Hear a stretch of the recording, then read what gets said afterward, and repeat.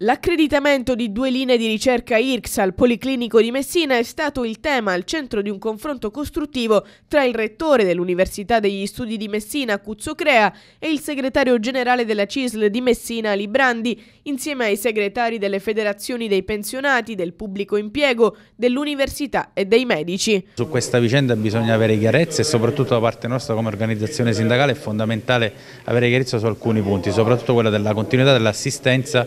della continuità dei diritti garantiti ai lavoratori che operano all'interno del Policlinico, ma soprattutto della continuità assistenziale all'interno di una struttura così importante. Per noi all'interno di questo ragionamento che vede la richiesta di accreditamento all'IRCS ci possono essere delle prospettive anche di garanzia e soprattutto di crescita futura e quindi siamo positivi sotto questo aspetto e vogliamo stare all'interno di un processo che vede un'opportunità per la città e per giovani ricercatori. Ne è nato un confronto schietto che ha analizzato tutti i possibili scenari con una certezza, quella che la formazione sanitaria resterà in capo all'università. Confronti quando sono così sono sempre costruttivi. Beh, sono confronti molto belli, importanti, costruttivi, mi hanno dato la possibilità di dimostrare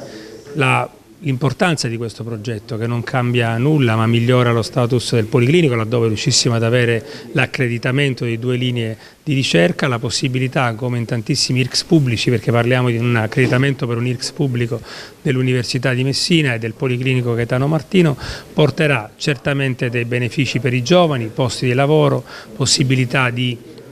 collaborazione col mondo della sanità, verifica attenta da parte dei ministeri preposti perché gli IRCS hanno questa rete e soprattutto un'attenzione al, anche al piano al, di resilienza e di ristoro del governo che come sapete alla linea 6 evidenzia importante attività di ricerca.